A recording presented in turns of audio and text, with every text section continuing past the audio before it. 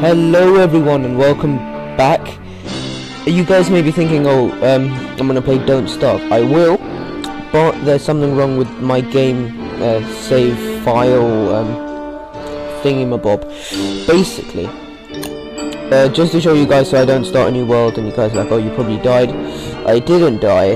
Um, I started another one.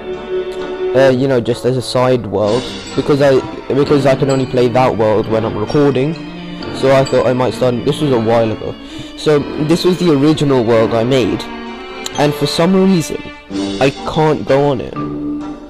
See, I'll, I'll click on it, I'll click on it, see, that's, that's my guy, continue, and I'll just let it load up, and then it comes up with this weird error, um, um, error report thing, and, uh, yeah, and then it just says exit game or forum.